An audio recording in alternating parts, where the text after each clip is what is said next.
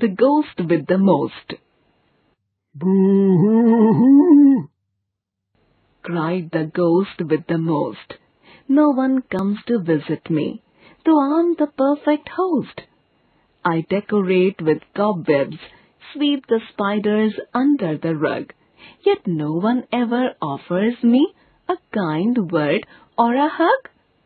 I don't know what the reason is. I don't know what could cause it. 'Cause I always, yes I always, keep my skeletons in the closet. Sure, I may look scary, but if someone really knew me, they wouldn't be afraid 'cause they could see right through me. By Arden Davidson Host a person who receives or entertains guests at home or elsewhere. Skeleton the bones of a human or an animal considered as a whole, together forming the framework of the body. Closet, cupboard. Scary, frightening.